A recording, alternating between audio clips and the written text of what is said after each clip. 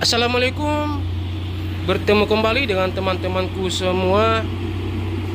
Untuk saat ini kita berada di daerah ataupun jalan lintas Sikirok Padang Sidimpuan. Tepatnya di daerah dekat Simpang Balap Kanalomak Di sini kita melihat ada satu unit truk gandeng yang mengalami kecelakaan. Dan truk gandeng ini mengalami remblong sehingga terjun ke dalam jurang yang berada di pinggir jalan ini. Pada kejadian ini tidak ada korban jiwa. Di sini kita tadi sempat berbincang-bincang dengan salah satu sopir yang ikut serta di dalam truk gandeng ini pada saat kejadian.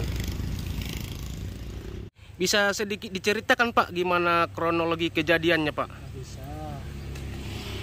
Itu ringblong dari atas sudah jadi kejadiannya itu rimblong lah dari atas jadi tak bisa dikendalikan meluncur lah dari atas ke bawah nah, oh. itu udah dievakuasi udah ganti pos neleng sampai, rem TL rem parkir pos neleng ganti pos neleng dua tetap jalan hmm.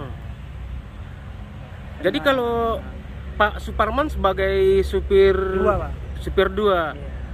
pas yang bawa kejadian Supir satu. Supir satu. Nama bapak tersebut? Antoni. Oh, Pak Antoni. Jadi kondisinya Pak Antoni saat kejadian bagaimana Pak? Dia saat kejadian dia masih ingat apa apa lah, masih biasa lah. Nah, tiba-tiba depan ada motor antri, hmm. curaman juga tebal dalam. Hmm, jadi itulah tak terkendalikan lagi, itu dibawa masukkan ke belakang langsung dia melompat. Masuk ke kan itulah jadi untuk hari ini kondisinya bapak itu gimana pak? Oh, udah mendingan pak. Karena kaki tegir luka sedikit aja. Luka sedikit ya pak. Nah. terima kasih pak ya telah memberikan sedikit informasi tentang kejadian yang di Batu Bola ini ya pak. Ya, sama-sama.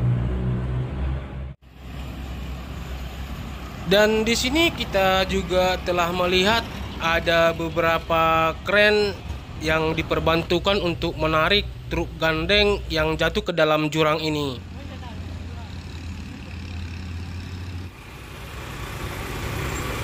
Saat ini proses evakuasi dari truk yang terjatuh ke dalam jurang ini akan dilakukan. Di sini kita melihat para kru dari kren ini telah bersiap-siap untuk melakukan evakuasi dari truk ini.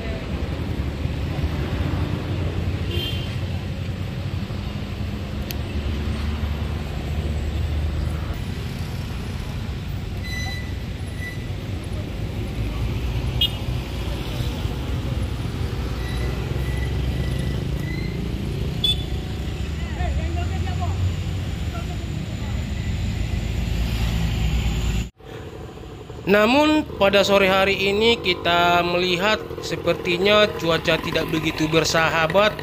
Awan mendung dan kemungkinan akan turun hujan di daerah ini.